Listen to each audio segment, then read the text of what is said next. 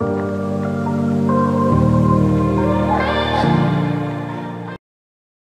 is up, guys? It's Mason once again, and we are on day three, round eight. Like I said, I didn't play in the first round, I had to be elsewhere, so I have a bye.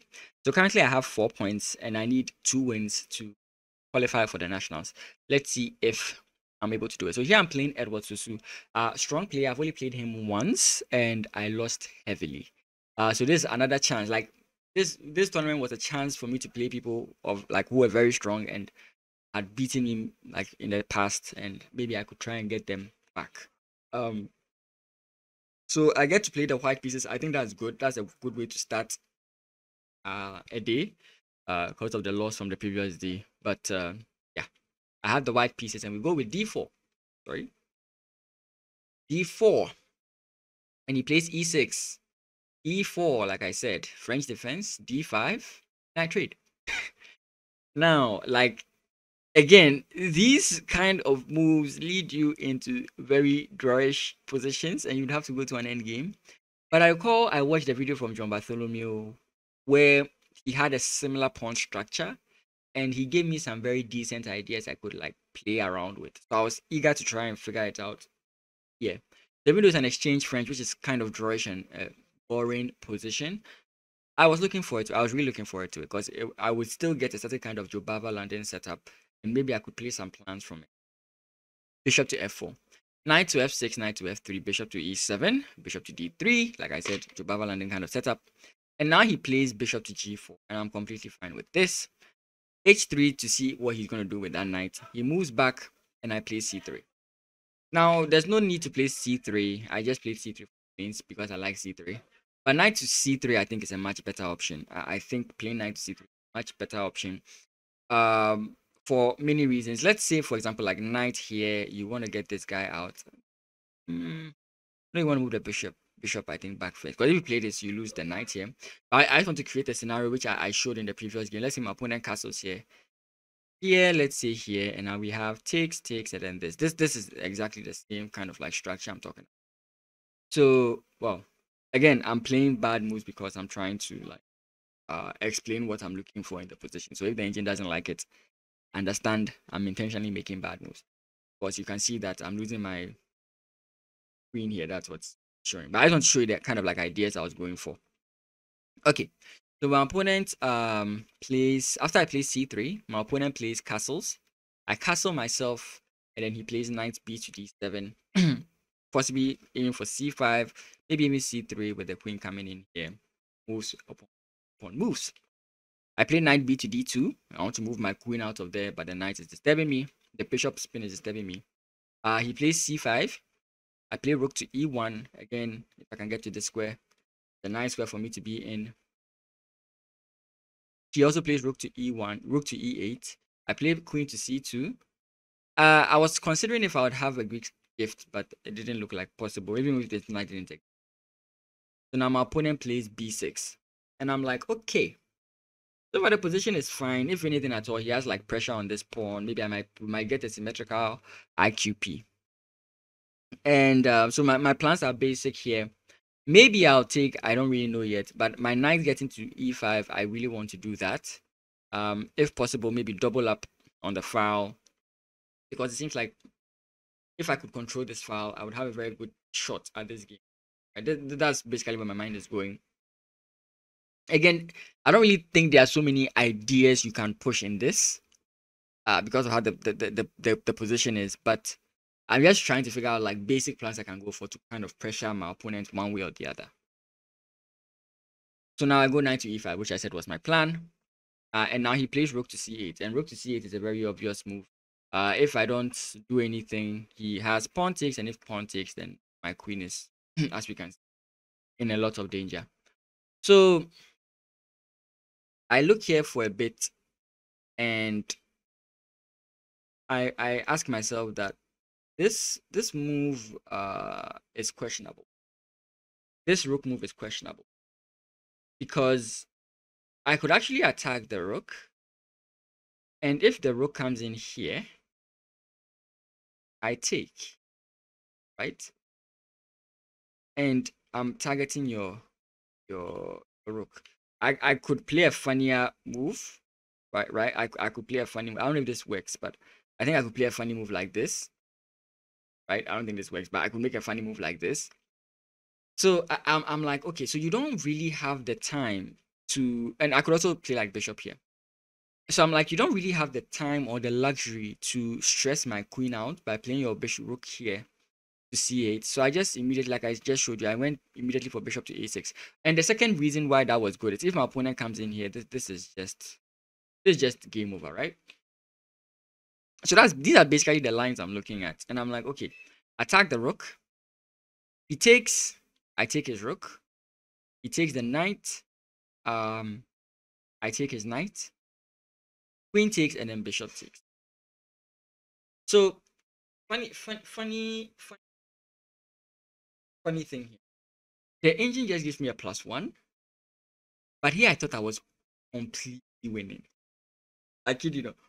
I thought I had won this game and I was fine. Like that's what I thought. And I was thinking, oh, this game is gonna be simple, there's not gonna be any trouble. We're just going to check, check, check. Take sorry, I didn't take all the pieces at the end of the game.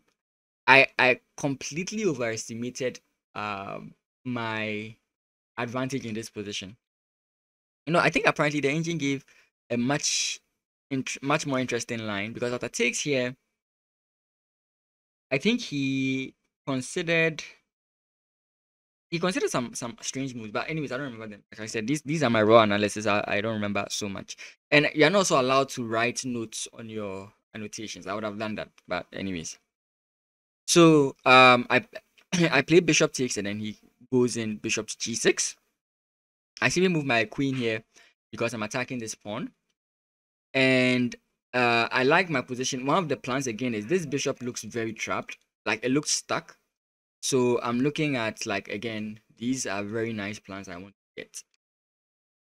My opponent brings his queen up. And I felt this move was wrong. I, I, I felt placing his queen here was wrong. Uh, I more or less expected him to. be. Sorry, was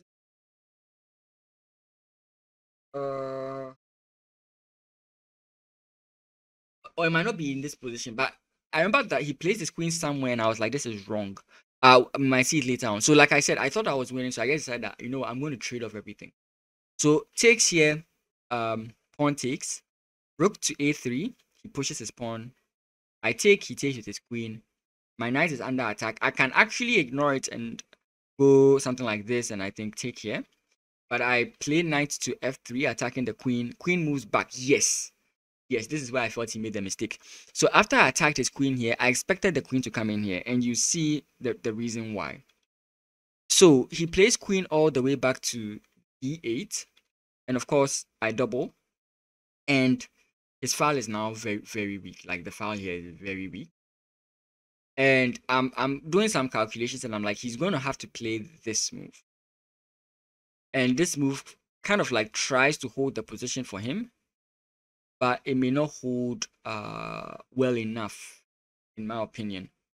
Uh, maybe there are ways I can like try and bring in more attackers. I have queen to b5, uh, trying to sneak in one way or the other. Like that, that's what I felt. I felt like I have kind of locked these pieces down. My opponent can't really, he doesn't really have the luxury of moving. Going to b5 so that if he tries something like with the bishop, I, I have a lot of pressure, right? So that is what um I'm thinking. I'm thinking that he's tied down here, and, and uh, I have a simple plan of winning here. Um, but that's not what he played. I I calculated the king forward, but that's not what he played. He rather played bishop to f5. And if you can remember what my idea in this game has always been, it's going to be very easy to predict what my next move is. And when I played this move, I left the board, and after some minutes, um, Mr. Sosu started laughing. he laughed out loud. It's like he saw, it's not like it's like he did see everything I was calculating. And that was my point. My point was okay, even if there's going to be an end game, I'm going to be fine. His pawns here are doubled isolated. This is also an isolated pawn. He has a very bad structure and I have two rooks. So I felt like no matter what this end game is fine, no matter how bad my end games are. So I went for the move that goes for a quick end game. Queen to a3. Queen to a3. Yeah, the engine doesn't like it, but I like it. And it's a very simple calculation you have to make here. If you do nothing, right? If you play king here, I take your pawn. Right? I take your pawn. If you take my queen, I go takes. And if you block, I take your queen still, right? So you take with your queen, I take with check. You block with your bishop. And the reason why I wanted this queen here is so that this is possible. He, he, he kind of, in a way, defends the position and he doesn't give me access to this square. Right? He doesn't, like, for example, he doesn't really have to trade queens here. If his queen was here, this check wouldn't force him to trade queens. He just move the king up and I possibly wouldn't have the ability to come to this square, right? But this is the position we got. This is the position I envisioned. Uh, the bishop can't move, so there's nothing that can stop me from winning these pawns. It doesn't matter how he pushes the pawns. Nothing stops me from winning. This is king up. I win the pawn. He brings his bishop to c5. And I realized that my knight here was sort of like a lifesaver at some point. I simply played a move a3. Of course, I want to play b4. Push this bishop back. Everything be fine. So I kind of expected um kind of like a move here. I expected something here. I can't remember what it was. Um, my opponent plays bishop to e6, and I simply played b4. And now he's going to lose another pawn because um um because um if bishop here, I come in this way, and you can't come you can't come and defend the pawn either way. So he brings his bishop here and the point of the bishop coming in here is to attack my pawn. This, I win the next pawn. Uh, he plays bishop to c1, attacking my pawn. I play a4. And the interesting thing is, he would love to play this, but my knight covers that square. Isn't that interesting? So here, and and why why why do I think that that's a, a good idea? Let's just assume he plays this. I come in here and he comes in here with the way I'm playing the game, I would have to play this. And after this, you you can see that like I have some some problems in my position, right? Again, the reason why the, the engine doesn't agree is because of the move I have. So the knight did a very good job being where it was. I began to push the pawns, push him, push him, push him. Uh, I brought my knight in because I realized the king can't come in forward. Please pawn push, but that's what I'm looking for. I played knight to c6, blocking because you play bishop takes I take and you can never stop this whole thing so that was a very nice game. My opponent resigned after knight here I played those moves but my opponent resigned after and for the first time I defeated um, Edward Sosu. Another game that went you know I like how when I lose a game the next day the game goes now I have five points. It's just left one more game. If I manage to win that, I have like a 50, 40, 40, 50% qualifying. Again, because of the bye, the two losses, and the and the loss to Kojo Bonsu, that is where my problem came from. Right? That's where my problem. So yeah, so far so good. This tournament has been a blast. Uh it hasn't ended, but it has been a blast. I really did enjoy this tournament start to finish. And in the final video, find out whether I qualified or not when I play against my fellow teammate from University of Ghana, Akins, a tactical player who I hate to play.